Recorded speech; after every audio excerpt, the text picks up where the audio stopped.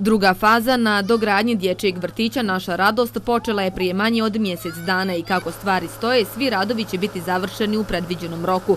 Prva faza je obuhvatala postavljanje temelja, a druga obuhvata izgradnju zidova i krovnu konstrukciju. Danas se na ovom objektu izlijevala ploča, a ovom, kako ga je i sam nazvao, posebnom događaju u građevinarstvu, prisustvovao je i načelnik opštine Siniša Gatarić, koji je ujedno izrazio i zadovoljstvo što se radovi odvijaju planiranom dinamikom. Oni koji su nešto kući gradili, zidali i pravili, znaju da je saljevanje ploče jedan izuzetan događaj u građevinarstvu.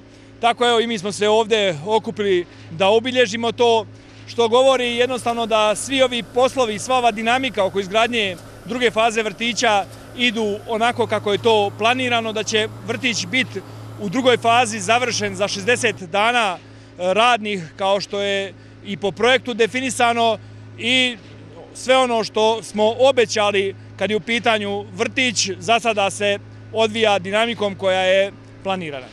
Podsjećamo, u februaru mjesecu načelnik opštine i direktor firme Projekt Inženjering potpisali su ugovor o izvođenju radova na dogradnji vrtića Naša radost, koji obuhvata fazu 2.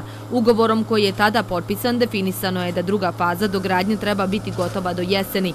Završetkom ovog projekta riješit će se i dugogodišnji problem nedostatka smještajnih kapaciteta u ovoj javnoj ustanovi, a bit će obezbijeđen i novi sadržaj smještaj za djecu mlađu od 3 godine, odnosno jaslice. Inače, sredstva za realizaciju i prve i druge faze obezbijeđena su iz donatorskih sredstava.